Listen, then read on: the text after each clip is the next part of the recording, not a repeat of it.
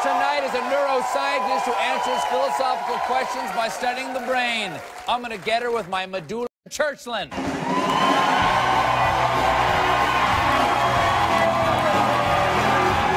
Emerita mm. of philosophy at UC San Diego. You received a MacArthur Genius Award, okay, for your work in neurophilosophy. And your new book is called Touching a Nerve The Self as Brain. First of all, what, what is neurophilosophy? Do you just put the neuro on there because as a philosophy major, you'd never get a job?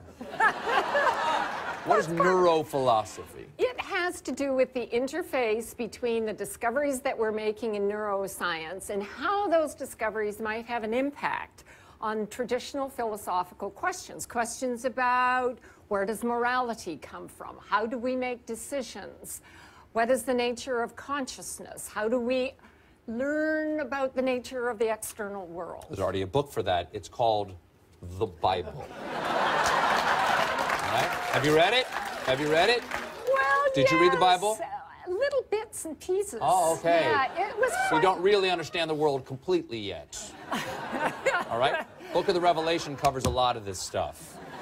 So, i i i i- our morality does not come from my brain. My brain gets filled with morality. No, it doesn't. Okay, hold on, hold on.